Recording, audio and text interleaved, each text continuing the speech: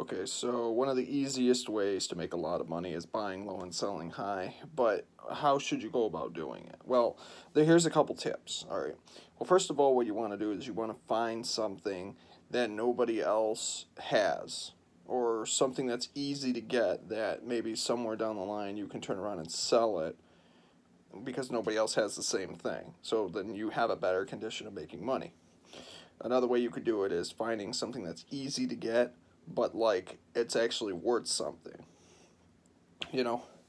So if you can realistically find something like that, or better yet, something that you don't have to spend a lot of money to get. Like I'll give an example. Like if you say you're good at drawing, okay, so you could draw a sketch of something, and especially nowadays, if you do it right online, you could sell it to people, but you also can create like copies of it, so that way you know it's not like, like you know, like you could take a picture of something, frame it, and then sell that and you'd be surprised how much money you can make doing that because you don't have to keep buying the resources. You can just make a copy of it, sketch it out, send it out to somebody, and then, you know, as long as you find the right people that want to buy it. That's a good idea.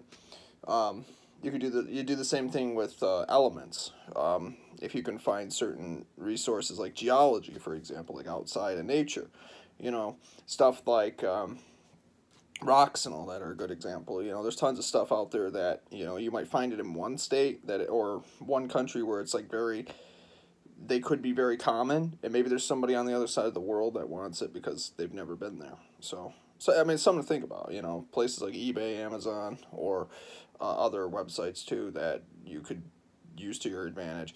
It really depends on how you want to set it up. If you can do that, then that will be a very good tactic to use so that way you can make money doing what you're doing.